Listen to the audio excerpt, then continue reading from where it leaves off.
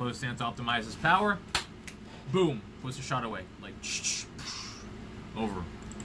Alright, what's up guys? Welcome back to Genius Tennis. Sean's going to replace your tennis coach, and this is going to be episode one of a footwork analysis video that I'm doing. I've actually meant to be doing footwork analysis videos as a new segment on this channel for a while because as you know footwork is a very vaguely defined it's practically completely undefined in the entire world of tennis. Mostly all you ever get are like random footwork drills. Most coaches can't even tell you the difference between open and closed stance okay? But here genius tennis completely figured out footwork here. There's literally if you're familiar with my work and again i've got upcoming footwork videos not even just footwork analysis videos, but explicit full footwork lessons coming up. If you're familiar with my work and what I do, then you know that there are three exact things that hierarchically determine how you move on the court. This isn't an opinion, this isn't a coaching style. Literally, these are the three things that categorize, if you consciously look at the big picture of all footwork, you can use these three parameters to identify if this is met, then this is how the player is going to move on the court. Number one is the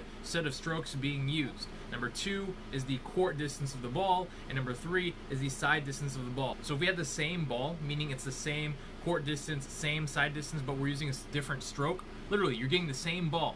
So if you get the same exact ball, but you choose to use a different stroke, you're going to move differently. If you have the same stroke and the same side distance, but the court distance is the same, so one's short and one's deep, you're going to move differently. And finally, if you're using the same stroke and the court distance is the same, but the side distance is different, you're going to move differently. And if you look on our webpage, that's literally how all the footwork is organized. But basically, we're going to get into quickly uh, analyzing this girl's footwork here. Funny how I came across this video. I was just looking up tennis in Korea because Korea is like basically my dream location to eventually uh, either visit or maybe even possibly move to. Uh, the K-pop videos and culture have definitely gotten to me, but I found some um, tennis video of this 13-year-old tennis player moving on the court. So let's just go ahead and narrate how she's moving. Okay, so she's about to serve. Okay, as you can see there, um, let's go back a little bit. She lifts her toe for the serve. Okay, I'll, this is a very common practice in the tennis community. Personally, I'm not for lifting the toe, but I know that there's plenty of pros that do it. Novak Djokovic does it. Nick Kyrgios lifts the toe on the serve, and Naomi Osaka she lifts the toe on the serve. Federer doesn't.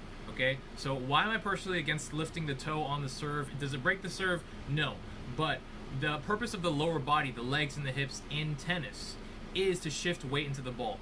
And there's no other stroke in the entire sport of tennis where you lift your toe at all. Try lifting your toes on your forehand, doesn't work. Try lifting your toes on your backhand, doesn't work. But I, I really don't know where this came from, but for some reason we make the serve an exception to lift the toes. Another problem with lifting the toes on the serve is that when you shift weight back on racket back, which is step two of the serve, like this this uh, stance here where it's behind you and you're tossing, um, lifting the toes prevents you from being able to sink your knees further down into the court, okay? Whereas, contrary, if you lift the heels, like Federer does, like you can see in this picture here, where he lifts the front heel instead of the front toe, that allows you to sink into the back knee even more, okay? But still, uh, I watched a little bit of this video before I started recording, and the serve here is still pretty solid. I like it again, lifting the toe doesn't break the serve.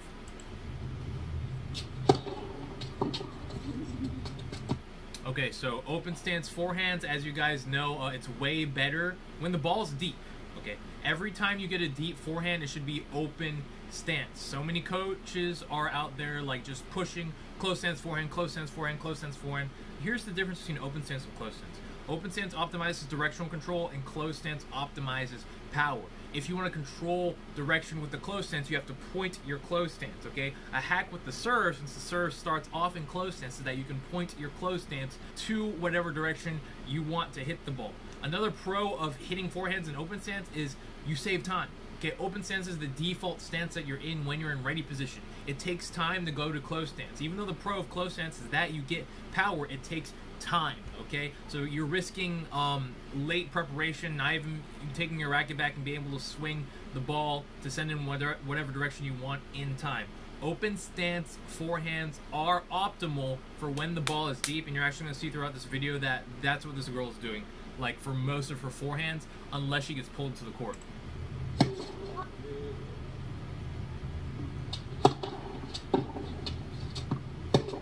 Okay, very nice there. On the forehand, she does a jump. Okay, um, this is also something that is not very specifically emphasized in a lot of tennis training. And even in my forehand video, I don't talk about the jump as far as weight shift. So the weight shift in open stance is from center, side, center. Every single stroke is three steps. Set up, racket back, swing. You're in ready position. Then you take your racket back, and then you swing. And then um, what correlates with that, weight shift correlates with each step, okay, respectively. So in setup, your weight is centered, and racket back, you shift weight to one side, and then when you swing, you shift weight back to the center. What the jump does is your weight is centered, then you shift weight to the right, and then when you shift weight back to the middle, you actually jump. You push off of that side leg, which is what she did here. Okay? See exactly what I said. She goes in the close stance when the ball is short. You don't go into close stance for everything.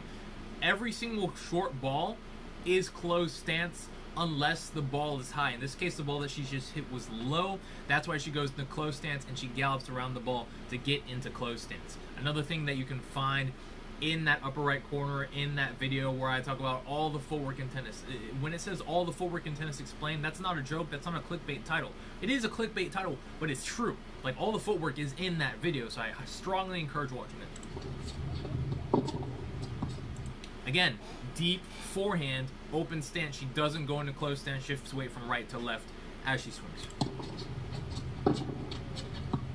Shifts into a half open stance there. Open stance, half open stance, both of those are fine. The reason she goes to a little bit of half open stance um, has to do with direction. Even though open stance optimizes directional control, you can still point your open stance a little bit. The reason she points it to the right is so she can turn even more cross court to hit that powerful winner that, as you can see, her opponent isn't able to get to it all. And she closes the net because she knows that she's hit an effective shot. An effective shot is a shot that ungrounds your opponent, which means that they don't have any balance or control over the weight when they get to the ball. So even if he got to that ball, the next shot that he's going to hit is going to be very predictable. You never want to close the court if you hit an ineffective shot, which means you hit a shot that does nothing to the opponent. You hit a shot that the opponent doesn't even have to like significantly throw their weight in order to get into. And that's a problem with a lot of 3-0, 3-5 players is that they don't know when to close the net. You don't they, they just close the net whenever. They just think I'm just going to hit this shot and invest in it. That's good when you're a beginner, but the next level is to understand when you've hit a shot that's actually good, that's actually going to pull the player off the court. And it is kind of like fighting where you have to feint and see how your opponent reacts. You have to get a, a feel for when your shot has actually been effective against an opponent. A shot that's effective against somebody that's like five foot six isn't necessarily going to be effective against someone that's five foot uh, six foot two because they're taller and faster. Or I'm, I'm being height discriminatory here. Okay, it's all about speed. Okay, uh, if um, a, a shot that will be effective against somebody who's slow is not going to be effective against someone who's fast.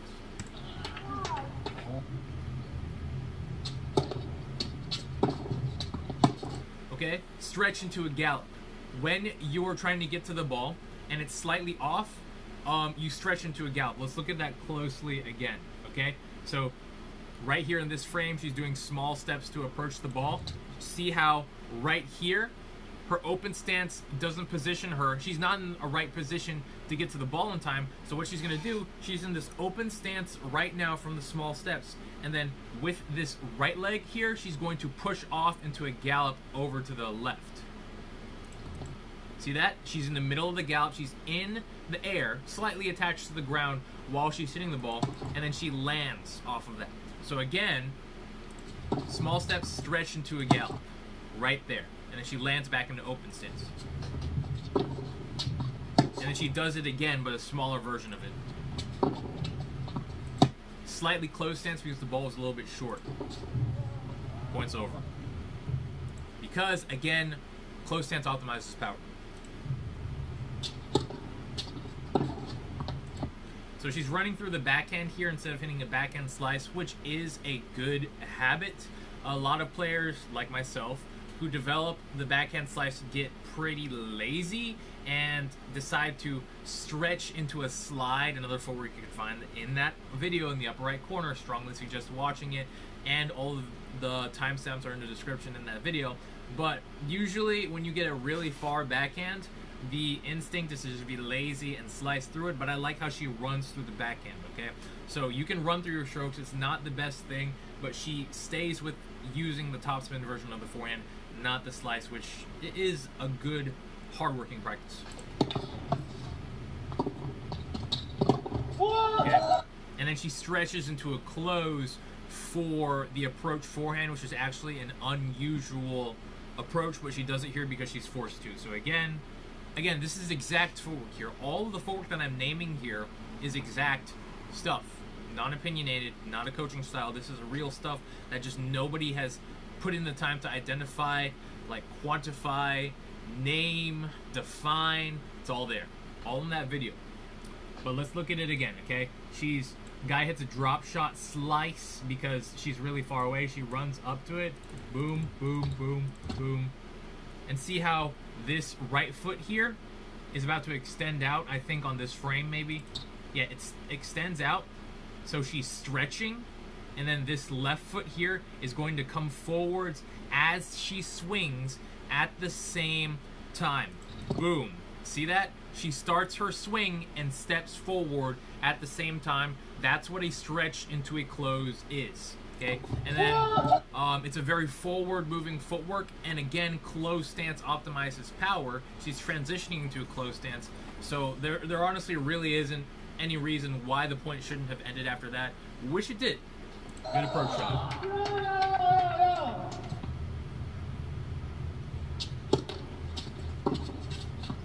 Close stance because the ball is a little bit short. And this one's actually a little bit funny too. She's aimed the shot inside out.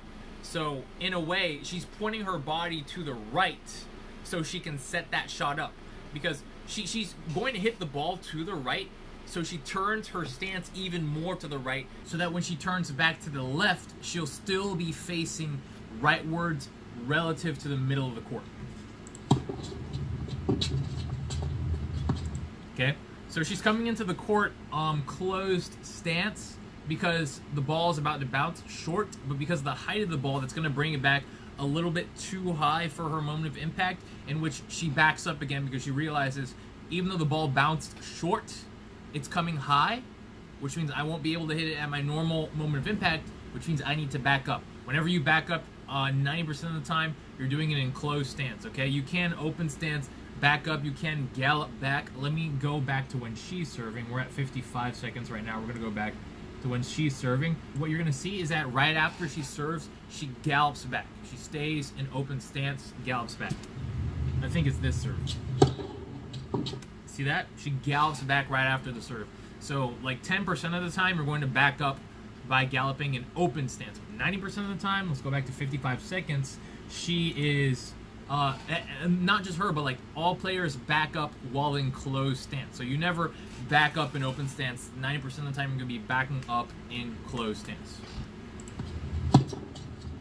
And closed stance optimizes power. Boom, puts the shot away. Like, over.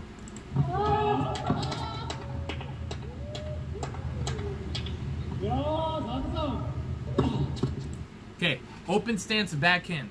When you're returning, you don't have time to go to closed stance. Exactly what I said earlier in the video.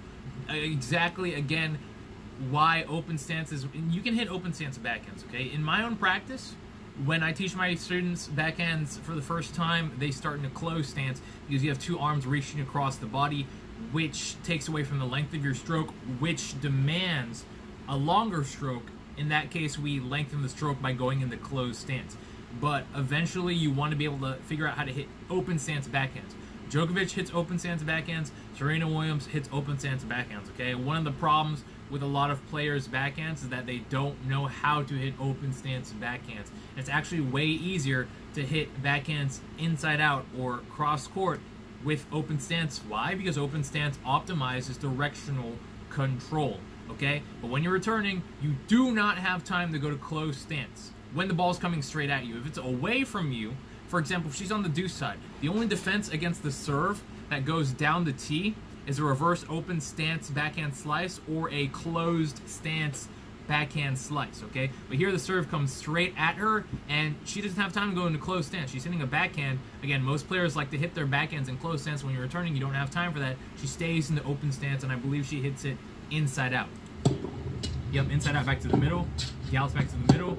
Close stance backhand cross court because the ball's a little bit short. And again, a close stance is better suited for the backhand than it is for the forehand because you have less arm length for the backhand. You have a lot more arm length for the forehand. Nice. Closes into an open stance as she hits that backhand cross court. Again, we're going to go frame by frame here. Okay? So she takes that right foot over into close stance, closes. She's in close stance right now as she's hitting the ball, shifting the weight forwards. Close stance, weight shift is forwards, forwards again.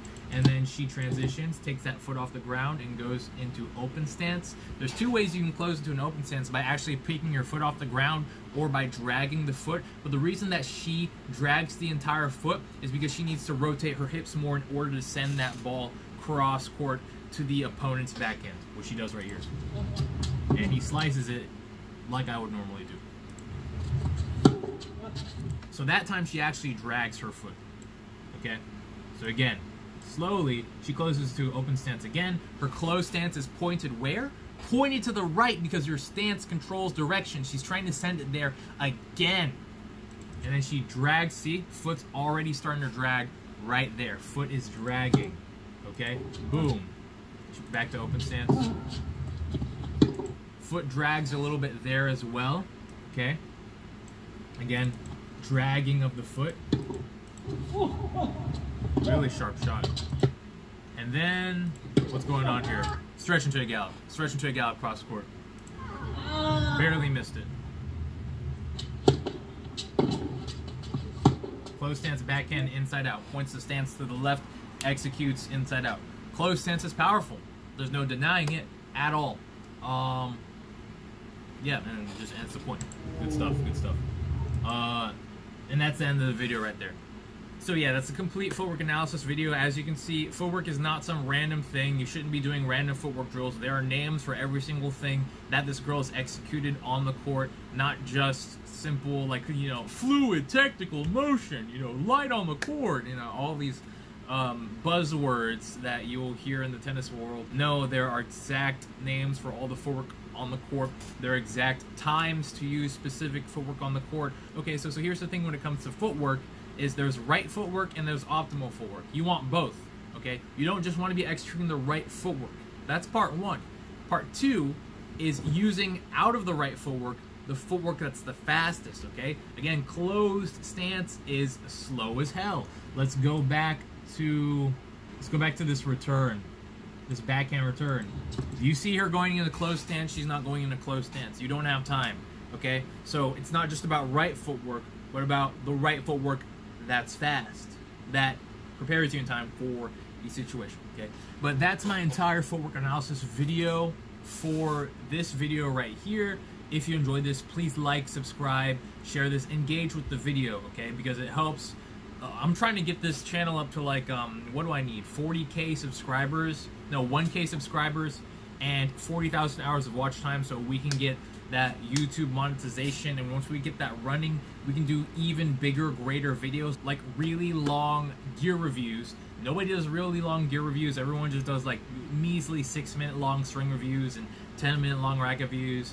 Um, we're gonna do like the the whole enchilada here, okay? And we're actually gonna customize rackets. We're gonna test multiple tensions. We're gonna tell you which tension is best. And alongside that, it helps me um, afford, you know, better hardware because right now we've got like a Ryzen 5 3600X, which is nice and all, but as you guys know, the the 5000 series have come out, and I'm trying to get a better GPU. It, it all helps, you know, um, video edit better because I love making videos for you guys. I used to work at a club myself. The reason that I quit is because you give the lesson, people return, they make the same mistakes because there's no material that helps them retain what they've learned to fix their game. And that's why I make these videos. That's why I built my website. That's why I built my social media. That's why I turned my entire coaching program into an actual organization, into an actual business. Because an essential part of learning isn't just, you know, taking it in the first time, but actually retaining everything you learn. Okay, so make sure you like, subscribe, share, comment, and um, yeah, I'll see you guys for the next video. Thanks again for watching.